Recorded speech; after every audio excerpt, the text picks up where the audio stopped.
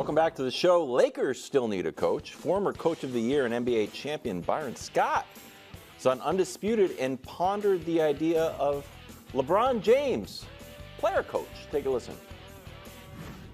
My recommendation, uh, the next Laker coach, and out of the eight or nine names that I've heard, his, name wasn't on there, is make LeBron the coach. I got nothing but love and respect for LeBron. I love him. I think he's one of the greatest players that ever played this game. But it's, it's obvious to me, at least, that he's making a lot of decisions that's going on in this organization. No doubt. From a coaching standpoint to a player standpoint. So if you're going to allow him to make those decisions, all right, sit on the bench and make those decisions as well. Be the head coach. Okay. Yeah, thank you. Uh, well, That- I'll, that's I'll exactly let you, right. I'll let you guys debate the merits of him being the head coach. I, just to be fair, what Byron said there is completely incorrect. LeBron has had no say on any of the Lakers coaches. He tried. He he advocated for Ty Lue. They lowballed Ty Lue and didn't get him. And then when they were doing the the Darvin Ham search, he was out of it, and he didn't, was not a part of them hiring Vogel. As far as the players stuff, I yes, obviously he pushed for them to get Westbrook. He also pushed for them to get Kyrie Irving last year, and then publicly was disappointed when they didn't get it. And he pushed for them to make moves this offseason. So and, I'm sorry, during this regular season, and they didn't do it. So this the, LeBron somehow is the invisible hand of all the Lakers' mistakes and nothing to do with the successful moves. I get that that's a narrative. Anthony for- Davis, he gets the- credit for that. the, yeah, no, absolutely. The Anthony Davis thing, does he?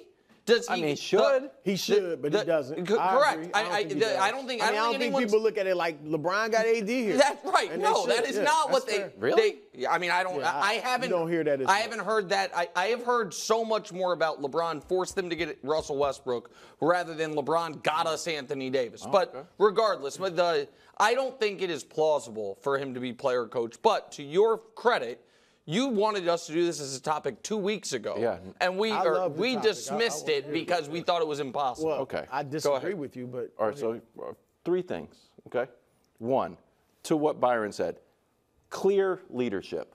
Whether whether or not LeBron is the shadow GM or not, certainly I think players look to the Lakers at LeBron as a leader on the team. So you know what? Let's not have a delineation of power. I'm the leader, I'm the captain of the team, I'm the best player, I'm the legend, I'm also the coach. There's one quarterback on the team, not two. There's not two decision makers. Even in JJ's uh, their podcast, LeBron has something. It was just kind of a offhand remark, but it hit my antenna. He's like, "Yeah, Darvin drew something out. I vetoed it." I was like, "Oh, okay. Maybe everybody can do that." But it struck me as like, "All right, you're obviously the leader."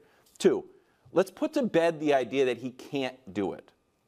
It has happened in every sport. And he's like, well, modern NBA, you wouldn't be able to do it. Here's what LeBron does.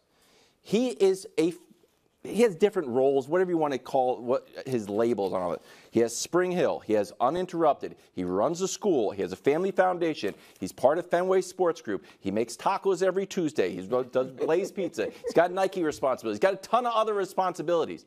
Adding one more thing to his portfolio is not ridiculous when he has a wide portfolio. So, how are those things successful?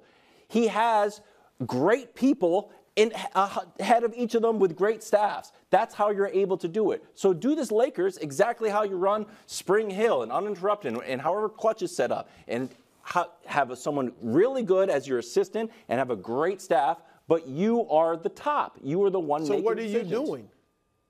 Like, I mean, what are you doing? If, if the assistants being are the- doing everything, he's saying you You're, you're, you're being the CEO, you're being the final decision maker.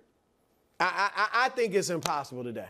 The last player coach was 1979, Dave Cowens. What makes it impossible? I think today's NBA is so much more complicated than the 50s, 60s, and 70s. So- so they why don't had you have a two, They had two coaches on NBA teams in the 60s and 70s. Two coaches, head coach, one assistant. Now they got like harder. nine coaches. Okay, that, I mean, that, that I argument Bro, is I that's think more what difficult. He's saying though is have No, I basically get, a full I, I coaching get, I get all Yeah. that.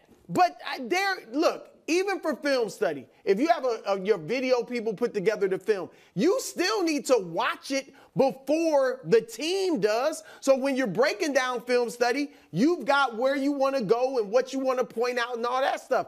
I, I just think player. I know LeBron watches a lot of film.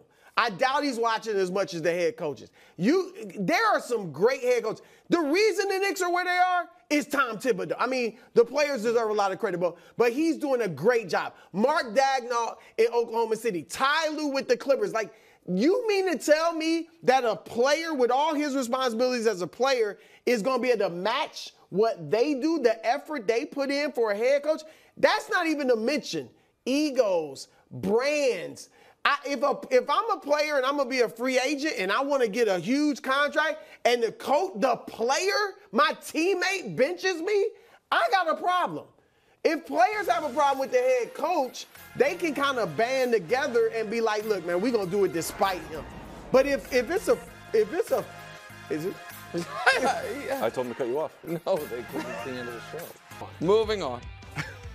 Austin Rivers was on the Pat McAfee show yesterday, made some NFL players pretty mad, and also invoked an unbelievable rant by Chris Long. Shout out to him. It was great on his podcast. uh, here's what he said I can take 30 players right now in the NBA and throw them in the NFL. You cannot take 30 NFL players and put them in the NBA. All right, from the, let's talk about the first part of that statement. I can take 30 players in the NBA and put them in the NFL. I think he almost has a point. Where do you stand, You look Greg? ticked off. I'm not ticked off Cause you that face looked like at you were this upset. part because he does have a point. Like, I I could see some guys in the N- NBA right now being able to play in the NFL game. How long they last, and if they can play for an entire season. Obviously, changing their body, that all matters. But if we were to take them as they are, the shape that they're in, the physical abilities that they currently have, there's a few guys. There's there's, Well, there's a can- handful let me of guys add this to what do you said. I agree.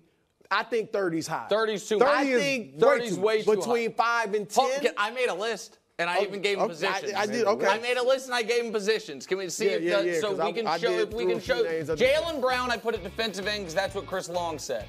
Anthony Edwards and him play running back or safety. Aaron Gordon's going to be a Jimmy Graham style tight end.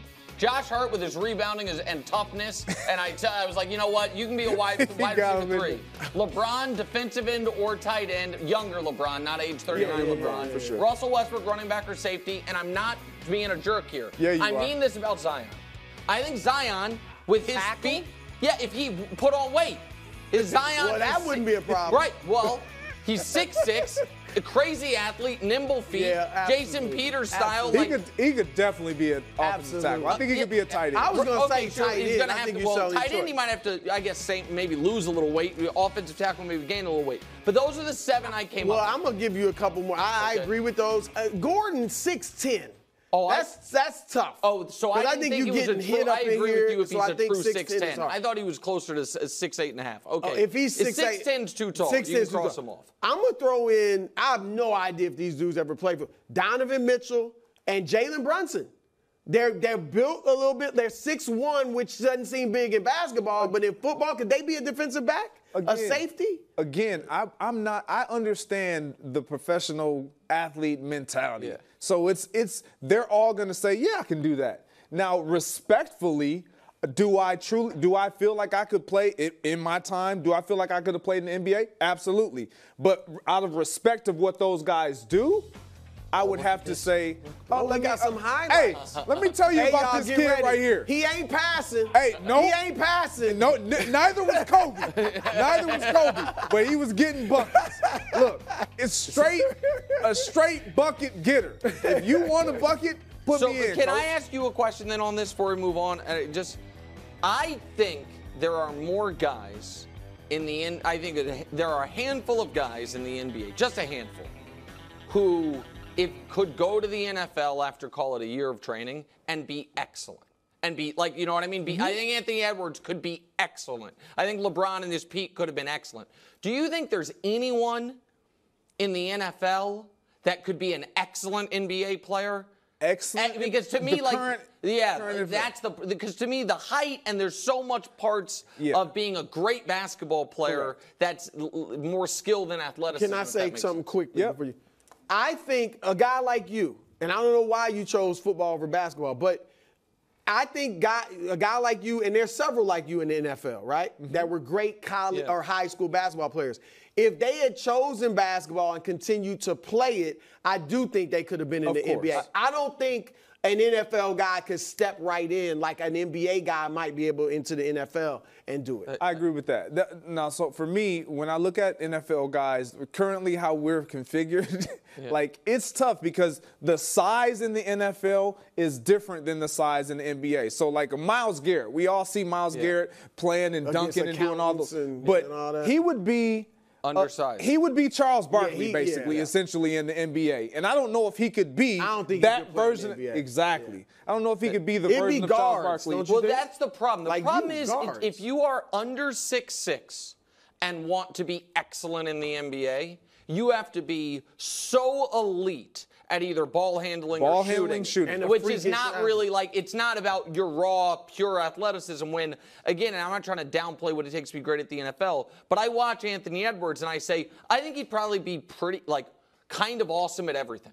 You know what I mean? Is that that's about raw athleticism. Let let let Ant tell it. If Yeah. it got a ball, I'm, he can I'm play. be great. Coming up next uh, are the Chicago Bears at the bare minimum. That, that was unintentional. Headed to the playoffs. We'll discuss that next. Thanks for watching. Subscribe here to get more from the show and to check out clips from other shows on FS1.